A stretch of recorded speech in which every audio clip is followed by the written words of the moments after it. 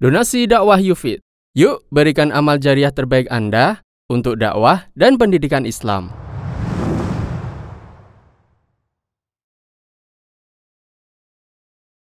Kesalahan baca amin yang membatalkan sholat. Menurut pendapat yang masyhur di kalangan ahli bahasa, ada dua cara membaca amin yang benar. Pertama, dibaca dengan dipanjangkan kata a sehingga menjadi amin. Kedua, dibaca dengan dipendekkan kata A sehingga menjadi amin. Berikut beberapa keterangan ulama mengenai hal tersebut. 1. Keterangan Al-Hafidh Ibnu Hajar. Takmin adalah bentuk masdar dari kata ammana dengan mim ditasydid yang artinya membaca amin. Dan semua riwayat para ahli ilmu Al-Quran menyebutkan bacaannya dengan memanjangkan hamzah atau memendekkan hamzah. Fathul Bari. 2. Keterangan Ibnu Abdul Bar dalam bacaan amin, ada dua cara baca, dipanjangkan dan dipendekkan, seperti awah dan awah.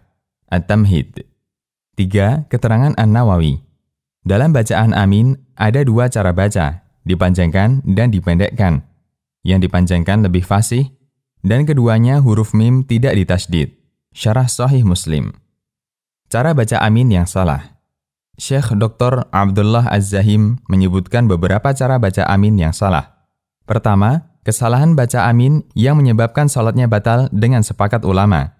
Satu, Hamzah dipanjangkan, mim ditasdid, dan huruf ya dihilangkan, sehingga menjadi amin. Dua, Hamzah dibaca pendek, mim ditasdid, dan huruf ya dihilangkan, sehingga menjadi amin. Tiga, Hamzah dibaca pendek, mim tidak ditasdid dan huruf ya dihilangkan, sehingga menjadi amin. Kedua, kesalahan amin yang disepakati ulama, namun apakah itu membatalkan ataukah tidak, ada perbedaan di antara para ulama bunyi bacaan amin ini, yaitu dengan memendekkan hamzah, mim ditasdid, dan ada huruf ya, sehingga dibaca amin. Para ulama sepakat, lafat amin semacam ini dilarang, namun mereka berbeda pendapat apakah membatalkan sholat ataukah tidak. Syafi'iyah menilai ini tidak membatalkan sholat, sementara madhab yang lain menilai ini bisa membatalkan sholat. Ketiga, kesalahan bacaan amin yang diperselisihkan bolehnya dan batalnya sholat. Satu, Hamzah dipanjangkan, mim ditasdid, dan ada huruf ya, sehingga dibaca amin. Hanafiyah membolehkan kesalahan semacam ini, sementara jumhur melarangnya. Hanya saja menurut Syafi'iyah, amin semacam ini tidak membatalkan sholat. Sedangkan Hambali dan Malikiyah menilai bacaan amin ini bisa membatalkan sholat.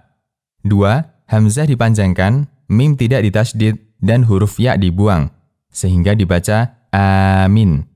Sebagian Hanafiyah membolehkan amin semacam ini, namun tidak disinggung oleh madhab yang lain. Dan yang benar ini dilarang. At-ta'min akibal fatihah fi salah. Demikian Semoga bermanfaat. Allahu a'lam. Konsultasi syariah.